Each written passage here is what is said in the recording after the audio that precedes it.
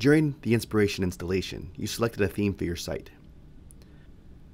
However, you may decide later on that you want to try a different theme. This video will show you how to install a new BoldGrid theme that you can use for your site. First, log into the BoldGrid dashboard as I've already done here. Next, hover over the Customize option in the left-hand sidebar menu and click on the Change Themes option. This takes you to a Themes page where you have a list of already installed themes to choose from. From here, click on the Add New button at the top of the page. This brings you to the Add Themes page. You'll notice there are many different themes here. Themes specific to BoldGrid are located at the top of the list and have the BoldGrid Certified logo.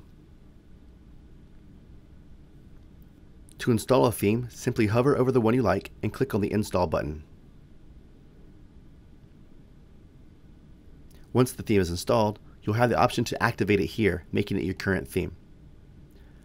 To do that, just click on the Activate button.